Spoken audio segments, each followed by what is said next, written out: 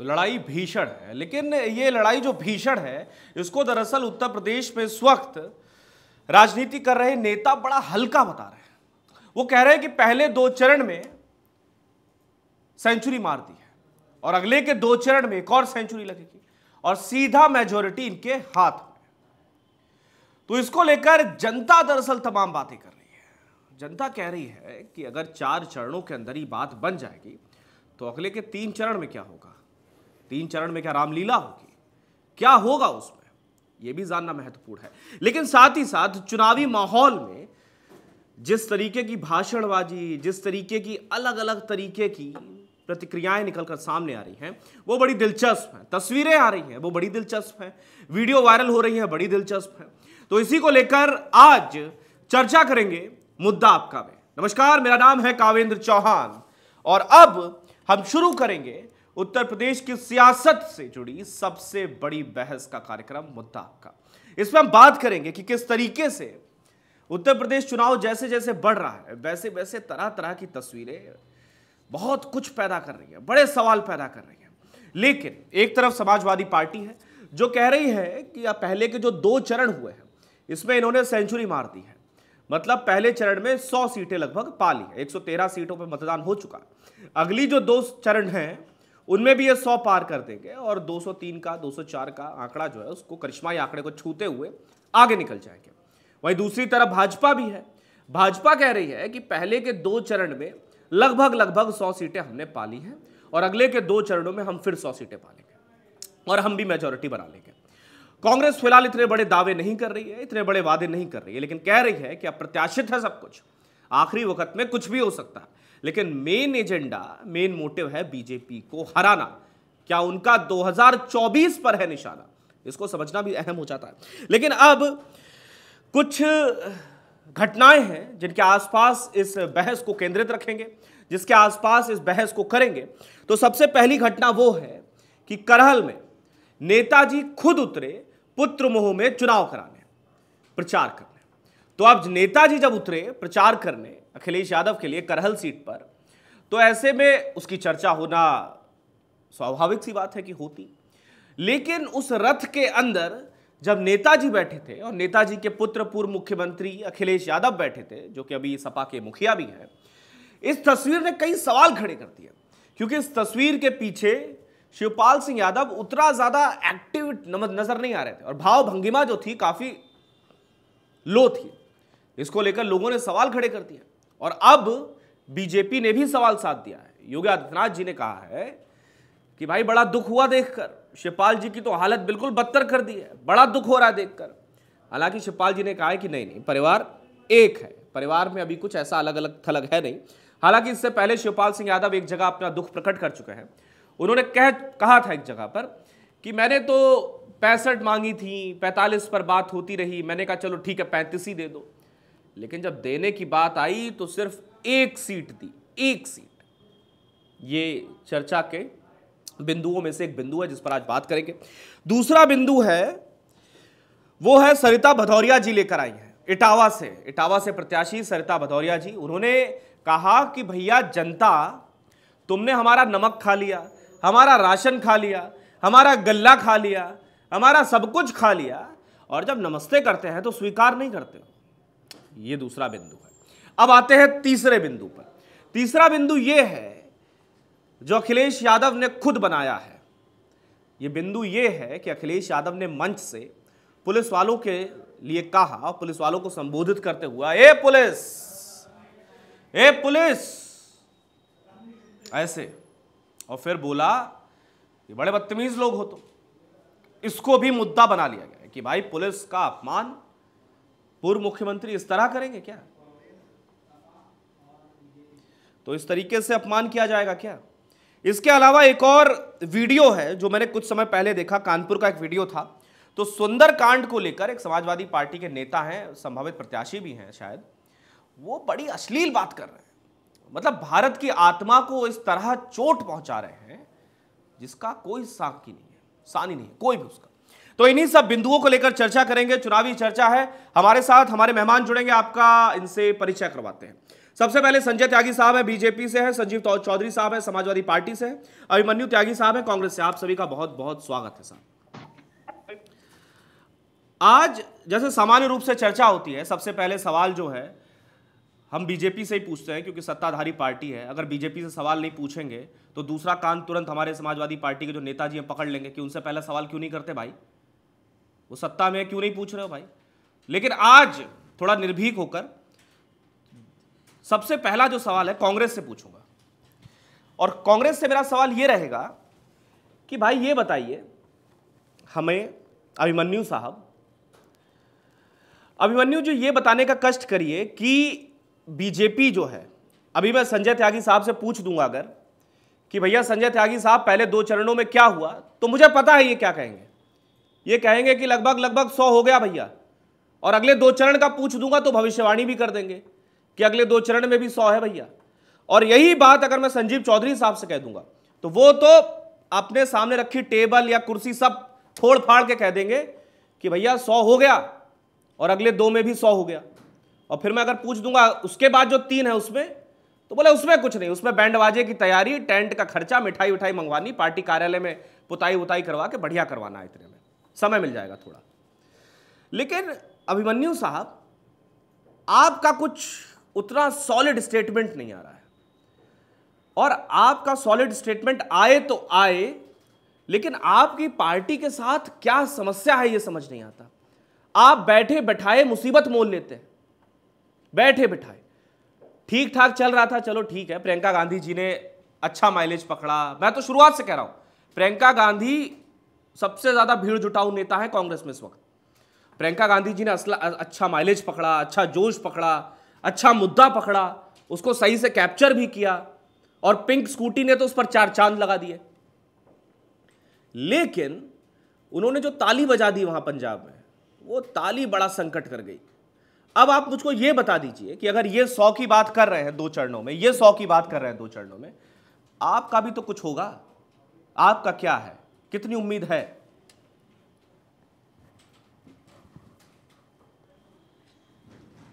सबसे पहले नमस्कार आपको भी और बहुत जो पैनलिस्ट है उन सबको आपको भी और जो पैनलिस्ट हैं उन सबको हम्म, बहुत बहुत नमस्कार साहब।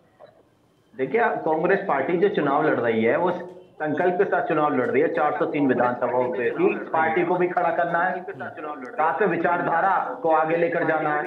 जो जनता से जुड़े मुद्दे हैं, वो कांग्रेस पार्टी जीवित रख रही है। एक तरफ़ धर्म और जाति पर चुनाव लड़ा जा रहा है।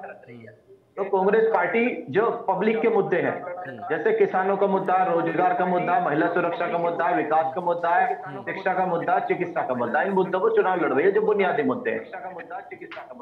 जहाँ तक बात है कि कांग्रेस पार्टी एक सेकंड रुकेगा ये थोड़ा सा ऑडियो में ग्लिच आ रहा है थोड़ा सा। ठीक है आप बोलिएगा आप बोलिएगा अभी मनुष्य। जी। हाँ। दोबारा से बोलो। नहीं नहीं आगे कंटिन्यू करिए इतना तो सुन लिया बढ़िया। अच्छा नहीं नहीं आगे कंटिन्यू करिए इतना तो सुन लिया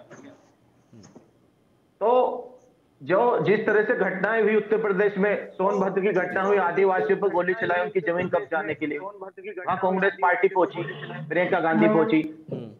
लखीमपुर खीरी की घटना हुई प्रियंका गांधी पहुँची उन्नाव की घटना हुई। हाथरस में दलित समाज की बेटी का बलात्कार हुआ रात को उसका अंतिम संस्कार किया गया। हम्म। प्रियंका गांधी पहुँची राहुल गांधी जी भी गए उस जिन्होंने पुलिस ने लाठीचार्ज करने की कोशिश भी की। हम्म। कांग्रेस पार्टी ने मूवमेंट चलाया। हम्म। तो कांग्रेस पार्टी जो है वो पीड़ित की तरफ़ खड़ी है शोषित की तरफ़ खड़ी रही एक तरफ़ शोषक समाज है जो शोषण करता रहा है। शोषित की तरफ़ आपको टोकते हुए। लेकिन दलित शोषित वंचित बेरोजगार पीड़ित, लघु उद्योग, महिला, बेरोजगार, सबके साथ सब खड़े। अभी आप मुझसे पूछ लेंगे तो मैं भी कह दूँगा मैं खड़ा हूँ। जबकि मैं इसी, किसी मोहल्ले से आता हूँगा। लेकिन मैं आपसे ये पूछ रहा हूँ, अगर ये ताल थोड़ ठोक कर और संजीव चौधरी साहब तो कुर्सी पीछे जो सीसा वीसा सब फोड़ फाड़ के अगर कह देंगे कि हम भैया सौ कर चुके हैं पार और सौ और कर लेंगे, आप कितनी मजबूती के साथ कितना दावा कर सकते हैं? देखिए हम अपनी परफॉर्मेंस के बारे में बात कर रहे हैं। हाँ। विचारधारा के साथ लड़ रहे हैं। गैंग जनता के पाले में है। अब तो जनता तय करेगी ना तो आकाशवाणी मुझे हो रही। ऐसा हो सकता नहीं, है नहीं, एक पार्टी को एक उम्मीद होती है। पार्ट, नहीं पार्टी को उम्मीद होती है कि हम इतने में जीतते हुए नज़र आ रहे हैं कि परफॉर्मेंस बहुत अच्छा बहुत अच्छा होने जा रहा है परफॉर्मेंस ये हमें उम्मीद है। मतलब एक आंकड़ा तो होगा ना एक आंकड़ा ऊपरी ऊपरी आप बता सके एक आंकड़ा। आंकड़ा भी नहीं कह सकते हम। अभी मैंने कहा कि आप फिर मेरी बातों को पकड़ोगे नहीं मैं एक्सेप्ट करूँगा। आप अगर आप बोल देंगे अगर आप बोल देंगे कि 100 नहीं अगर आप बोल देंगे कि 113 नहीं तो 112 हम लेकर आ रहे हैं। मैं मान लूँगा। नहीं नहीं नहीं नहीं, नहीं इस तरह से नहीं। मैं आपको उदाहरण के तौर पर बताता हूँ कि जैसे हमने पहले चरण में एक सर्वे कराया मोटा मोटा बहुत सारे सर्वे अलग अलग हाँ, तो उसमें यह निष्कर्ष निकला कि लगभग 14 से 16 सीटें ऐसी रही जहाँ त्रिकोणीय फाइट में कांग्रेस रही। मतलब उनमें कुछ सीटों पर ऐसे भी रही है जहाँ हम जीतने की स्थिति में तो नहीं थे लेकिन जो जीत रहा था उसे हराने की स्थिति में भी आ गए। हाँ। जो कि कैमरा नहीं पहुँच पा रहा था जहाँ। ये आपको नहीं पहुँच लगता कि ये बड़ा बुरा काल है कांग्रेस का? कि कांग्रेस जैसी पार्टी है, है, अभिमन्यु इस साहब समय चुनौती है। नहीं बिल्कुल है अभिमन्यु साहब लेकिन कभी कभी बुरा नहीं लगता कि कांग्रेस जैसी इतनी बड़ी पार्टी जिसने इस देश पर इतने साल इतने सालों साल दशकों शासन किया उत्तर प्रदेश में भी शासन किया हालाँकि 89 के बाद नहीं आए लेकिन फिर भी किया है शासन किया है। आज भी बुज़ुर्गों से पूछ लेंगे तो आपके नेताओं के ही नाम बताएँगे तो जो विधायक रहे लेकिन आज ऐसी स्थिति आ गई है कि आप बैठकर बोल रहे हैं कि हम जीतने की स्थिति- स्थिति में तो नहीं लेकिन हराने में ज़रूर थे। नहीं नहीं नहीं मैं वो मेरी बात कंप्लीट हो जाए तो ज़्यादा अच्छा आपको भी लगेगा अच्छा। दरअसल क्या बत्तीस साल से कांग्रेस पार्टी बिना गठबंधन के नहीं लड़ी? गठबंधन का अनुभव यह रहा कि गठबंधन कांग्रेस पार्टी को मुफीद नहीं रहा। हमें लाभदायक नहीं रहा। हम उस संकल्प के साथ लड़े भाजपा भी नहीं लड़ पा रही है उस संकल्प के साथ कि हम अकेले लड़ रहे हैं। एक तो नई लीडरशिप हम बना रहे हैं। दूसरा कि समीकरण के हिसाब से कई सीटें ऐसी बन रही है कि जहाँ नेक टू नेक कांग्रेस का फाइट निकल के आ रही है सामने। ठीक है।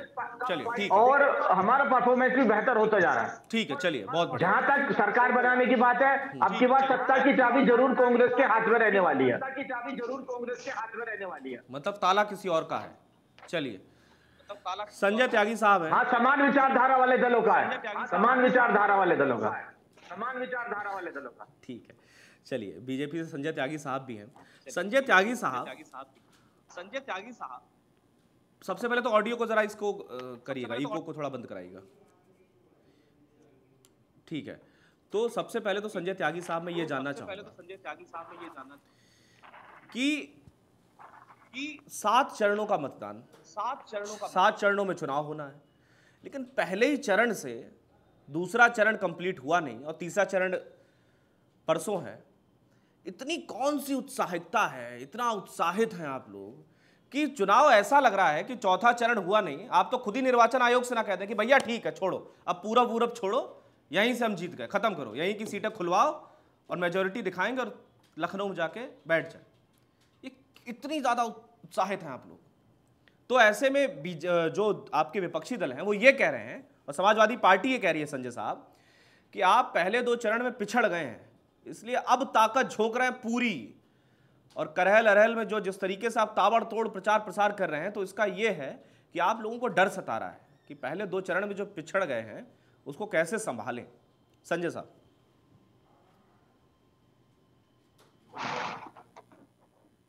समझने का विषय ये है भाई साहब हम्म, कि पूरी प्रदेश की जनता जो ये कह रहे हैं हमारे पहले तो मैं हमारे जो कांग्रेस के प्रवक्ता हैं इनके सवालों का जवाब दे दूँ। हम्म, देखिए ऐसा है कांग्रेस को तो वैसे ही देश और प्रदेश की जनता सीरियस नहीं लेती। हम्म, तो भारतीय जनता पार्टी को या हमें आपको भी कांग्रेस पार्टी को सीरियस लेने की आवश्यकता नहीं है?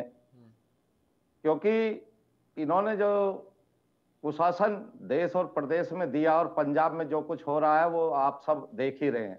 जिनका पूरा परिवार बेल पर हो और 2014 में और 2019 में जो देश की जनता ने और प्रदेश की जनता ने इन्हें जवाब दिया है यकीनन मेरी बात लिख करके रख लीजिएगा कि कांग्रेस का उत्तर प्रदेश के अंदर खाता भी नहीं खुलने जा रहा है। ये तो बात रही कांग्रेस की। हम्म, अब हम चूँकि भारतीय जनता पार्टी हम्म, ने सुशासन युक्त और भ्रष्टाचार मुक्त शासन उत्तर प्रदेश की जनता को देने का काम किया है। हमें जो आप सवाल कर रहे हैं कि ऐसा क्या है? विश्वास।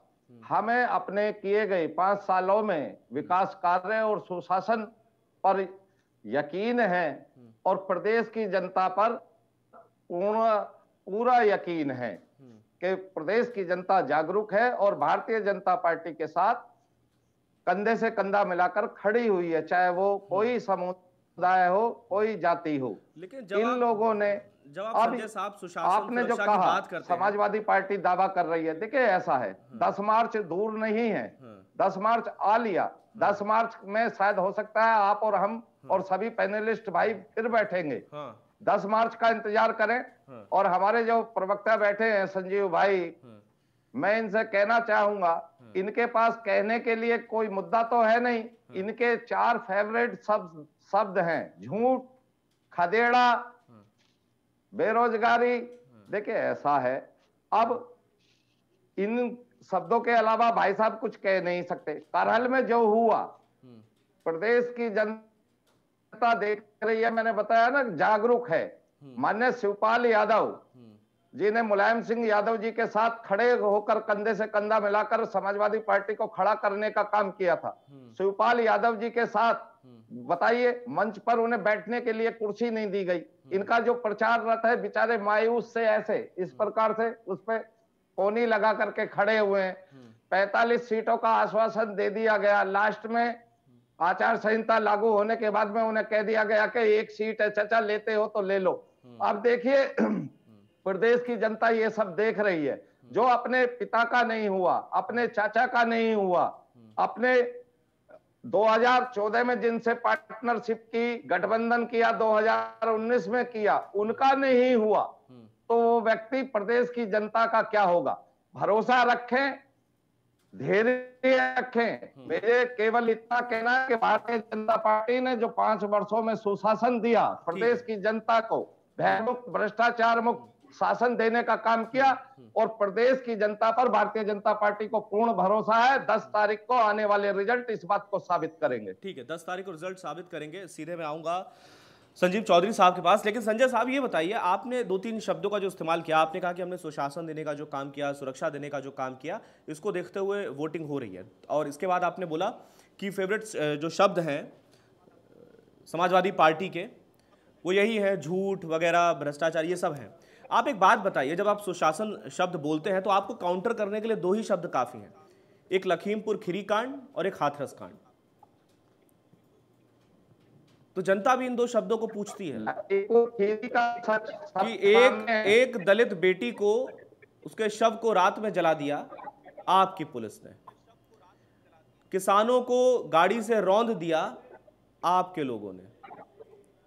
तो ये कौन सा सुशासन है कौन सी सुरक्षा है कौन सा भयमुक्त समाज है? नहीं मैं केवल आपसे इतना कहना चाहूँगा डेढ़ वर्षों तक चले तथा कथित किसान आंदोलन में हम्म, बॉर्डर पर जो दलित युवक को हाथ पाँव काट करके नहीं नहीं ठीक है वो आप उसमें मत जाइए अब आप उसको उसको तो प्रधानमंत्री खुद ही प्रधानमंत्री ने खुद ही कृषि कानूनों को वापस लिया।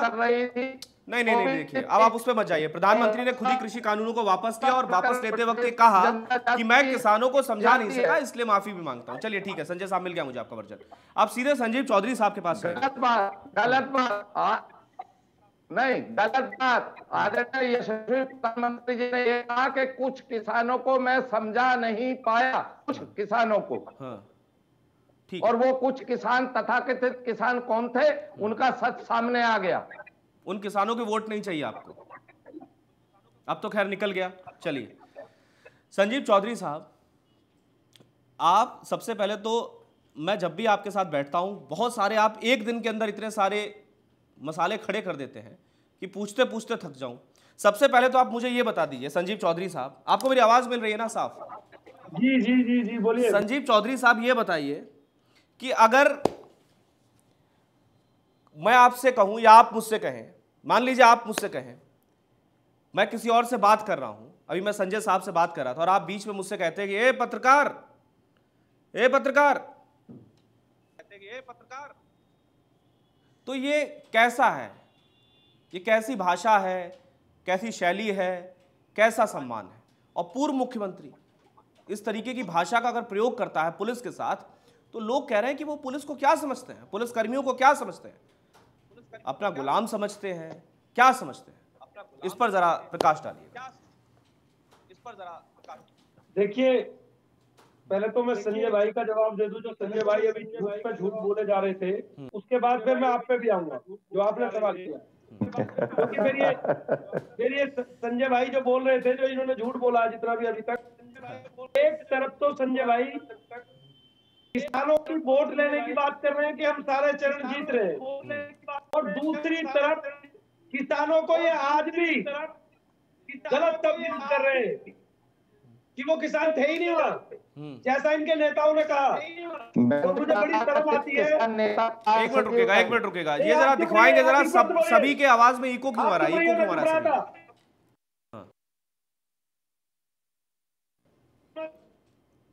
बिल्कुल तो एक तरफ़ ये दोहरी राजनीति अगर वो कानून गलत थे तो इनके प्रधानमंत्री जी ने माफ़ी क्यों मांगी उन्हीं किसानों से। तीसरी बात हाँ, गृह मंत्री जी पूरे उन्हीं किसानों में घूमते रहे। और माफ़ी मांगते रहे चुनाव के टाइम पे। लेकिन किसी किसान ने उनको माफ़ नहीं किया। एक सेकंड रुकिएगा। संजय त्यागी साहब संजय त्यागी साहब आप ईपी हटा दीजिएगा। ईपी की वजह से साउंड जो है वो वापस आ रहा है। आप ईपी हटा दीजिए ऐसे ही रख लीजिएगा सिंपल साउंड जो है वो वापस आ रहा है हाँ संजय त्यागी साहब आप ईपी हटा लीजिए अपना ईयरफोन हटा लीजिए लगा रखा है आपने। ठीक है। गृह मंत्री जी एक एक घर गए उन्हीं किसानों के पास जिनको ये जिनको ये खालिस्तानी और ये किसान नहीं बता रहे उनको। हाँ। ये बोल रहे हैं अभी। हाँ। गृह मंत्री जी एक एक घर जा रहे हम्म, उन्हीं किसानों को मनाने के लिए। हम्म, ये बड़ा दुर्भाग्य है हमारे देश का हम्म। हमारे प्रदेश का कि इस तरीके की भाषा का जब आज उनका आज वह वोट पड़ चुकी है। तो आज दोबारा से फिर इन्होंने अपनी नीति चेंज कर ली है। भारतीय जनता पार्टी वालों ने। लेकिन वो भी किसान है। जहाँ तीसरा चरण होगा वहाँ भी किसान है। हम्म। चौथा चरण होगा वहाँ भी किसान है। और पांचवा चरण होगा छठा चरण होगा सातवां चरण होगा वहाँ भी किसान है। ध्यान रखना आप वो 700 हत्याओं के दोषी हो आप जो शहीद हुए हमारे किसान उनके दोषी है भारतीय जनता पार्टी के लोग। हम्म। ये किसान माफ़ नहीं करेगा। ठीक है माफ़ नहीं करेगा। संजीव चौधरी साहब संजीव चौधरी साहब अब मेरे सवाल अब रहा हाँ। अब रहा आपका सवाल। हाँ। देखिए जब कोई भी पुलिसकर्मी हाँ। आपने ये तो बता दिया कि वो ऐसा बोल रहे थे। हाँ। लेकिन प्लीज़ हाँ। जरा वो वीडियो भी दिखाइए वो कर क्या रहे थे? हाँ। आप दिखाइए। क्या कर रहे थे? बताइए आप बताइए। मान आप आपकी बात। आप आप आपको सब पता है। हाँ। आपको सब पता है नहीं मुझे तो बहुत कुछ पता है। पुलिस वाले क्या कर रहे थे? हाँ। यानी कि पुलिस तो पूरी जात है। हाँ। गलत चाहे वो नेता करेगा चाहे पुलिस करेगा हाँ। चाहे वो नेता होगा। हाँ। गलत तो गलत तो वो भी कर रहे थे ना वहाँ कुछ ना कुछ। हाँ। आपको भी पता है। हाँ। ऐसा नहीं आपको नहीं पता। हाँ। और तीसरी बात हम्म। जहाँ तक अभी बात ये हमारे संजय भाई बैठे हुए हैं चैनल पे भाई है हमारे बड़े वैसे तो ये हम्म। इन्होंने शिवपाल जी की चिंता आप छोड़ दीजिए। हम्म। आप चिंता कीजिए तो स्मृति ईरानी की कीजिए। जिनको भीड़ नहीं मिली और बीच में रैली नहीं छोड़ नहीं नहीं, नहीं पहले इसी पर रहेंगे। संजीव चौधरी साहब मुझे ये बता दीजिए कि ए पुलिस ए पुलिस बदतमीज लोग ये किस तरीके की भाषा का प्रयोग है पूर्व मुख्यमंत्री के द्वारा पुलिस के लिए? देखिए आपने एक एक एक एक वीडियो का आप हम्म।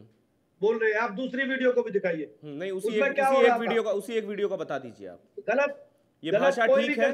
इसी भाषा का प्रयोग किया जाएगा? अगर मुख्यमंत्री बनेंगे तो इसी भाषा का प्रयोग करेंगे? पुलिस के साथ?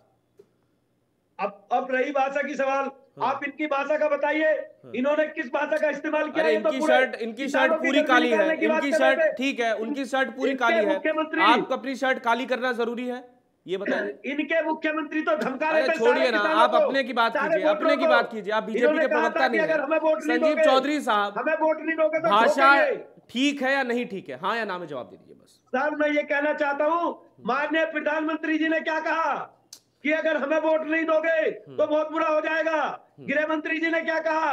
कि अगर भारतीय जनता पार्टी को वोट नहीं मिलेगी तो बहुत गलत हो जाएगा। ठीक है संजीव चौधरी साहब ये भाषा ठीक है या नहीं ठीक है? तो पुलिस ये भाषा ठीक है या नहीं ठीक है? इतना बताइए मुझको बस। ये ये ये कैसी भाषा है कि अगर हमें वोट नहीं दोगे आपके तो नेता की भाषा ठीक है या नहीं ठीक है इतना बता दीजिए मुझको बस। नहीं आप इनसे ये भी तो अगर आपकी सरकार बन जाती है अगर आपकी सरकार बन जाती है तब तो आप फिर पुलिस लोगों को पुलिस वालों को डंडा लेके आप उनके पीछे घूमेंगे। नहीं डंडा कोई नहीं ये गलत अगर आज इस तरीके की भाषा का प्रयोग आप पुलिस के लिए कर रहे हैं तो लोग ऐसा कह रहे हैं। ऐसा नहीं है कि वहाँ आप दूसरी वीडियो भी देखिए। नहीं मैं पहली वीडियो की बात करूँगा। आप पहली वीडियो के लिए मुझे इतना बता दीजिए कि भाषा ठीक है या नहीं। अब आगे भी बढ़ना है। संजीव चौधरी साहब इधर उधर मत भागिए। आप बड़ा नर्वस साउंड कर रहे हैं। आप बड़ा परेशान लग रहे हैं। आप बताइए भाषा ठीक है या नहीं ठीक है? भारतीय जनता पार्टी के लोग। भाषा ठीक है या नहीं ठीक है? भारतीय जनता पार्टी भाषा ठीक है या नहीं ठीक है? भाषा ठीक है या नहीं ठीक है? भाषा ठीक है या नहीं ठीक है संजीव चौधरी पार्टी के लोग। भाषा ठीक है या नहीं ठीक है? देखिए आप ये बताइए कि अगर जो पुलिस वाले कर रहे थे वो ठीक कर रहे थे क्या? अखिलेश यादव की भाषा ठीक है। या नहीं ठीक है? और पुलिस को इजाज़त नहीं पुलिस को इजाज़त थी। आगरा के अंदर होटल में मतलब भाषा ठीक नहीं है। चलिए ठीक आगे बढ़ते हैं। आप नहीं जवाब देंगे। ठीक है। ठीक है। आप जवाब नहीं देंगे ठीक आगे बढ़ते हैं। आप रुकिए संजीव चौधरी साहब हो गया। आपका जवाब मुझे मिल गया। आप जवाब नहीं देना चाहते। रुकिए रुकिए रुकिए। संजीव चौधरी साहब आप पता नहीं क्या आप जलेबी बनाने लगते हैं बहुत जल्दी। आपसे सवाल करता हूँ आप बढ़िया सा तेल वेल गरम करके चाशनी वाशनी गरम करके उसमें जलेबी तुरंत पकाने लगते हैं। आप आप रुकिए, आप थोड़ा सा आगरा में? आगरा में इन्हीं की पुलिस थी? बिल्कुल ठीक है। होटल से निकाल के इन्होंने एक आदमी मार दिया। ठीक है चलिए रुकिए। अब मुझे एक और एक और चीज़ का जवाब दीजिए एक और चीज़ का जवाब दीजिए। कानपुर से हैं आपके नेता हैं आपके प्रत्याशी हैं। सुंदरकांड को लेकर उनका मैंने अभी वीडियो देखा कार्यक्रम शुरू करने से पहले थोड़ी देर पहले। सुंदरकांड को लेकर इतनी अश्लील टिप्पणी कि ऐसे व्यक्ति को राजनीति में नहीं ऐसे व्यक्ति को या तो गटर में या फिर जेल में होना चाहिए। मतलब भारत के अंदर तुम्हें रहना है भारत की जो ज्योग्राफिकल लैंड है उसके अंदर रहना है और भारत की आत्मा को इस तरह चोट पहुंचानी है। सुंदर कांड के लिए इतने अश्लील शब्दों का प्रयोग वो कर रहे हैं और आपके नेता हैं। और वो क्या कह रहे हैं? कि मेरी बीवी सुंदर है और मैं कांड करता हूँ। या आपके नेता हैं संजीव चौधरी साहब?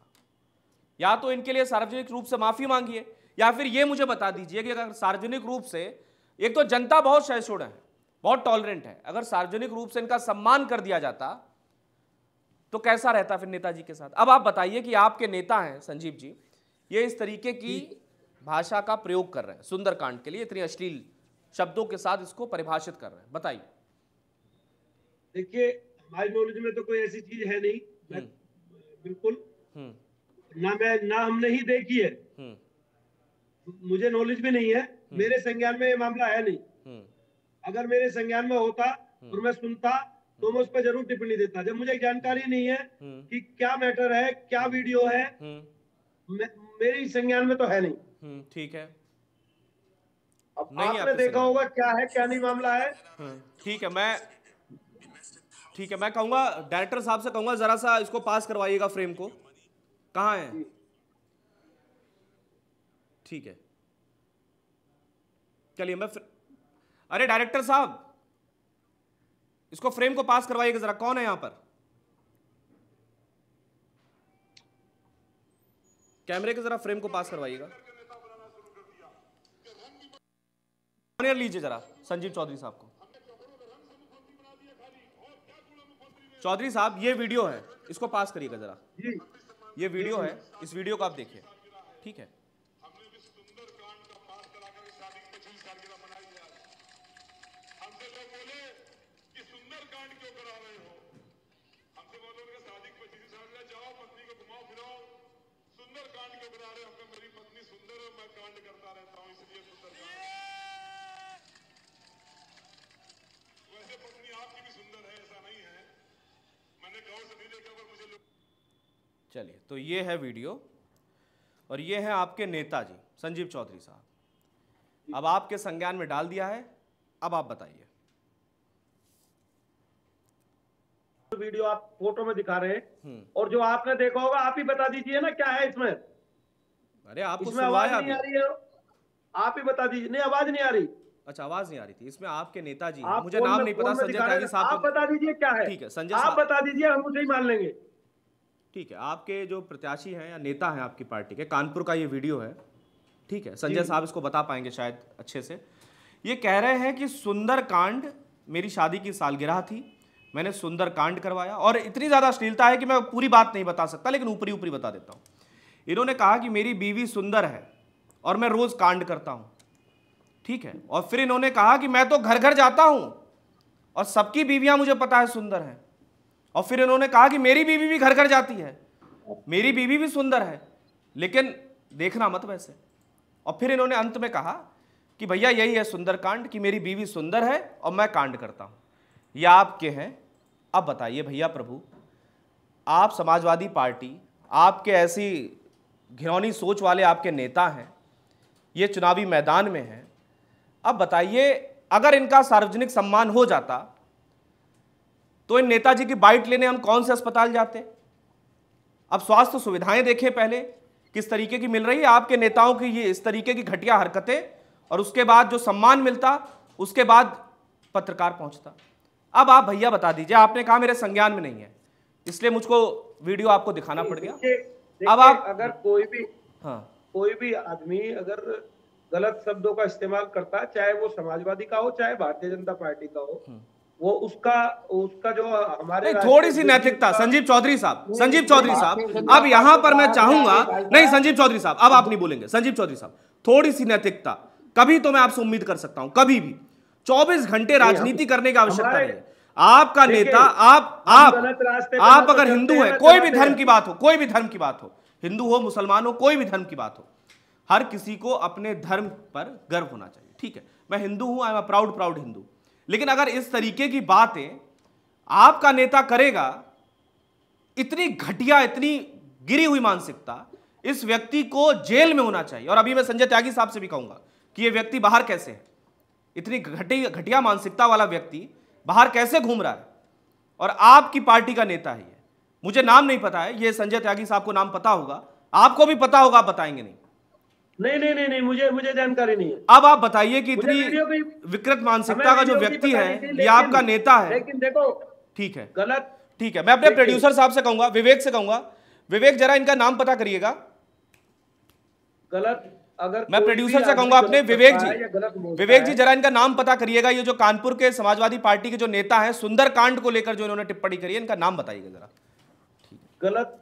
यदि गलत कोई करता है या गलत बोलता है तो वो अच्छी बात नहीं है चाहे वो कोई भी दल है हम्म। और कोई भी नेता। अरे आपका नेता है आपको वीडियो दिखा दिया है। अब आप बताइए आपका चेहरा शर्म से लाल हुआ है पीला हुआ है कि नहीं हुआ है? नहीं देखिए हम बोल रहे हैं ना कि भाई आपको क्रोध आ रहा है कि नहीं आ रहा है? या पूरी तरीके से आप राजनीति का चोला ओढ़ चुके हैं। क्रोध आ रहा है कि नहीं आ रहा है? या सिर्फ़ राजनीति की प्लास्टिक चढ़ा रखी है आपने? देखो हमारे लाल होने से हमारे लाल होने से तो ना तो इन ये भारतीय जनता पार्टी कौन से रुक रहे थे यही कितनी बदतमीजी इनके इनके विधायक इनके अभी जनता पार्टी पीछे चुनाव हुए हो संजय भाई बोलने तो दो मुझे जब नाम बता सवाल दीजिए, होगा, नाम मैं बता जवाब दीजिए। दूँगा। पीछे इनकी इनके इनके। नेताओं ने चीन रन तक किया ये तो साड़ियाँ खींची मैं एक बार फिर आपसे संजीव चौधरी साहब कह रहा हूँ। संजीव चौधरी साहब एक बार मैं फिर आपसे कह रहा हूँ। नहीं बिल्कुल नहीं संजय त्यागी साहब। संजय त्यागी साहब आपसे संजय त्यागी साहब आपसे विनती है। संजय त्यागी साहब आप चुप रहेंगे। अभिमन्यु साहब आप भी चुप रहेंगे। सिर्फ़ संजीव चौधरी साहब। संजीव चौधरी साहब ये घटिया मानसिकता का व्यक्ति आपकी पार्टी में है। ये तो ये। घटिया व्यक्ति ये इस तरीके की बातें कर रहा है। आप इसको लेकर क्या कह रहे हैं? सिर्फ़ इस व्यक्ति को लेकर। इसका वीडियो मैंने आपको सुनवाया और जनता भी सुनेगी इस वीडियो को। अब ये वीडियो आगे भी जाएगा अब आप बताइए। संजय भाई बीच में टपक पड़ रहे नहीं, कोई संजय- संजय जी नहीं बोलेगा बोलेंगे बीच में। संजय जी आप बीच में नहीं बोलेंगे, आप बताइए। व्यक्ति नहीं था क्या ठीक है जिसने एक बहन बेटी का सरेआम हम्म। सरेआम चीर चलिए मैं बता देता हूँ कानपुर की? कानपुर की अगर मैं ठीक हूँ तो कानपुर की तो कानपुर की आर्य नगर सीट से कानपुर की आर्य नगर सीट से ये विधायक है।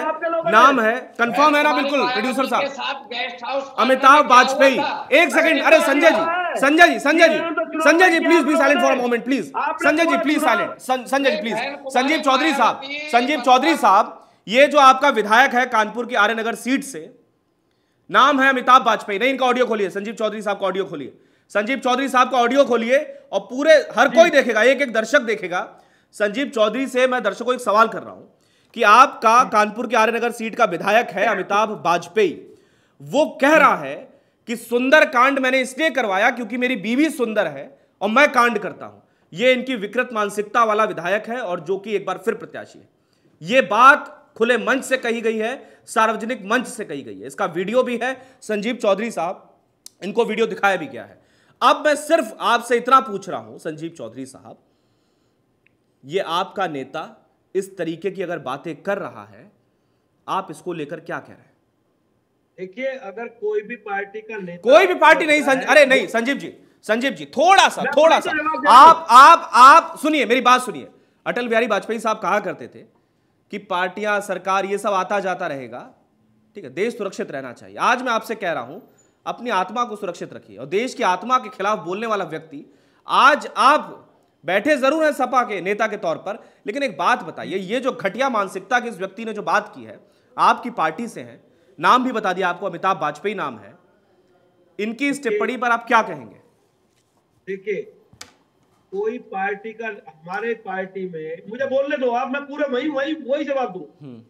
हमारी पार्टी में यदि कोई आदमी यदि कोई नहीं अमिताभ वाजपेयी वीडियो आपको सुना चुका हूँ। अमिताभ वाजपेयी वीडियो आपको दिखा हाँ चुका बता आपने नाम बता दिया। हाँ। नाम भी आपने बताया मुझे नहीं पता। हाँ, तो हमारे राष्ट्रीय अध्यक्ष जी उस पर संज्ञान ज़रूर लेंगे। हम्म, ऐसा नहीं है कि नहीं लेंगे। हम्म, संज्ञान ज़रूर लेंगे। अगर वहाँ तक मामला पहुंचेगा और ये ये ये ऐसा नहीं है कि अगर वहाँ तक पहुंचेगा अगर वहाँ तक पहुंचेगा अखिलेश यादव हाईकमांड है क्या? अगर वहाँ तक मामला मैं कह रहा हूँ कि आप क्या कह रहे हैं एक व्यक्ति के तौर पर? आप ये बताइए और पार्टी का स्टैंड बताइए ऐसे व्यक्ति को तो तुरंत बाहर करना चाहिए। लोग तो ये कह रहे हैं कि जेल में होना चाहिए। नहीं चलता ना। हाँ। मेरे कहने से नहीं चलता मैं। मेरे कहने से मैं चाहूँगा अभी संजय भाई को बाहर कर दूँ कर दूँगा ये। ये मुझे कर देंगे को कर तोड़ देंगे। हम्म, मैंने ये कहा कि मेरी टिप्पणी ये है इस पे हम्म, कि यदि कोई आदमी गलत काम करता है गलत बोलता है हम्म, तो बिल्कुल उसकी गलत है वो। हम्म। बोलना नहीं चाहिए आपके संयम को आपकी शालीनता को और आपकी डिफेंसिव तो सोच को। आप इतने करने आप इतने बढ़िया नेता हैं समाजवादी पार्टी के। मैं आज कह रहा हूँ मैं आज कह रहा हूँ अगर संजीव चौधरी साहब आपके दिल दिल में बसती है समाजवादी पार्टी आप जिस हाँ, तरीके से क्रोध आ रहा है क्रोध आ रहा है मैं देख रहा हूँ आपको लेकिन फिर भी किस तरीके से डिफेंड कर रहे हैं ये बहुत बढ़िया है बहुत इंप्रेस किया आपने। चलिए आप थोड़ा विश्राम कीजिए। तो नहीं नहीं बिल्कुल। मैं ये मैं कह रहा हूँ आप बहुत बढ़िया व्यक्ति है। मैं कह रहा हैं। आपको क्रोध आ रहा है हर चीज़ आ रही है इतनी घटिया मानसिकता वाला एक व्यक्ति आपकी पार्टी में है उसका मैंने आपको पूरा वीडियो सुनाया।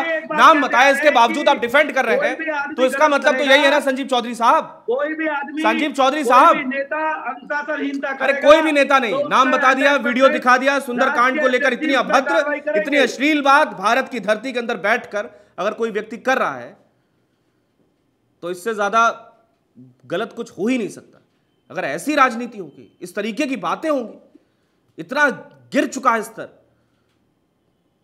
मैं बिल्कुल अभिन- अभिमन्यु साहब के पास आऊँगा लेकिन उससे पहले संजय त्यागी साहब ये जो वीडियो मैंने अभी दिखाया और इस वीडियो पे जो मैंने चर्चा की मैं आपसे कह रहा हूँ कि भाई ऐसे व्यक्तियों का संज्ञान लेना क्या अखिलेश जी की पार्टी के हैं तो अखिलेश यादव ही संज्ञान लेंगे? और कोई कार्रवाई नहीं होती क्या ऐसे व्यक्तियों पर? जो लाखों हिंदू हैं उनकी भावनाओं को इस तरीके से ठेस पहुंचाई जाएगी। इसका संज्ञान क्या अखिलेश यादव लेंगे कि आप भी ले ले सकते हैं या नहीं? या निर्वाचन आयोग के दिमाग में डालेंगे इस बात को? जी। भाई साहब जो भी उचित होगा वो कार्रवाई की जाएगी। हम्म। और रही बात ये जहाँ तक हिंदुओं की भावनाओं को आहत करने का प्रश्न आपने किया हम्म। अरे समाजवादी पार्टी का चाल चरित्र चेहरा तो उस दिन प्रदेश की जनता और देश के जन सामने आ गया था जब प्रभु श्री राम के निरीह निर्दोष भक्तों पर इन्होंने गोलियाँ चलवाई थी। नंबर एक। नंबर दो। हम्म। जिसका नेता स्वयं हम्म। अपने पैतृक गाँव में सफ़ाई महोत्सव की आड़ में हर साल हम्म। जब भी इनकी सरकार होती है बार बालाओं का नग्न डांस कराने का काम करता वहाँ नहीं, इसी- इसी- इसी बात से, पर, इसी बात पर इसी बात पर एमएलए एमपीओ से हाँ। क्या उम्मीद की जा सकती है? हाँ। ठीक है संजय त्यागी साहब एक और चीज़ पूछना चाह रहा था। ये जो ये जो मैंने आपको अभी बात बताई है ये बात आपके संज्ञान में थी कानपुर वाली सुंदरकांड वाली? देखिए ऐसा है ये अभी हमारे संज्ञान में नहीं था अब आप इसे संज्ञान में लाए हम हम्म। इसको अभी आ, आज अभी ही तत्काल प्रभाव से हम्म। शीर्ष नेतृत्व को इससे अवगत कराएँगे। और जो भी उचित कानूनी प्रक्रिया होगी उसको अमल में लाया जाए ठीक है, बहुत अच्छी बात है। एक और चीज़ आपको बताता हूँ, क्योंकि अब आप कह रहे हैं कि अगर मैं आपके बात कुछ संज्ञान में डालूँगा तो आप शीर्ष नेतृत्व को उसको पहचानने का काम करेंगे। एक और है जिनका नाम है सरिता भदौरिया जी, इटावा से हैं। ये कह रही हैं, आप ही की पार्टी की हैं, प्रत्याशी हैं, सरिता भदौरिया नाम है, इटावा से हैं। ठीक है, ये कह रही हैं कि हमारा गल्ला खा गए, हमारा नमक खा गए, हमारा राशन खा गए, हमारा सब कुछ खा गए, लेकिन आज नमस्ते करो, वोट मांगने जाओ तो बिल्कुल अपमानित कर रहे हैं? तो ये इनका गल्ला इनका राशन इनका नमक खा गए तो मतलब वोट भी नहीं को दे ये सरकार का काम था या एक पार्टी विशेष का काम था? राशन बांटा नमक दिया अगर तो वोट भी देना होगा ज़रूरी है। देखिए ऐसा है भाई साहब। हम्म। अगर संगठन के रूप में उन्होंने ऐसा किया तो बहुत गलत किया। संजीव भाई तो कह नहीं पाए कि क्योंकि वो तो एक प्राइवेट लिमिटेड फर्म है। समाजवादी पार्टी नहीं है वहाँ तो एक ही मालिक होता है। भारतीय जनता पार्टी में लोकतंत्र है और संगठन के स्तर से तत्काल आप इस मामले को अभी संज्ञान में लाए और संगठन को इससे अवगत कराया जाएगा और आप देखेंगे जल्दी इनके खिलाफ कुछ संगठन अरे संजीव चौधरी साहब इतनी बड़ी घटना आपको मैंने बताई आपने एक बार ये नहीं बोला आप कि संगठन तक पहुंचाऊँगा। आप आप बीच में मत बोलिए। आपको आता है चोर मचाए शोर आपके संगठन को पता ठीक है। केवल शोर मचाना हैं। संजीव भाई। काटिए टिकट। मुझे हटाइए आप इस जैसे लाखों करोड़ों हिंदुओं की आस्था को चोट पहुँचाने वाले। संजीव चौधरी साहब। संजीव चौधरी साहब संजीव चौधरी साहब संजीव चौधरी साहब लोग आपको देख रहे हैं। आप और लोग ये भी देख रहे हैं कि आप अपने नेता को लेकर बिल्कुल शांत हो गए। डिफेंसिव पोजीशन पर आ गए।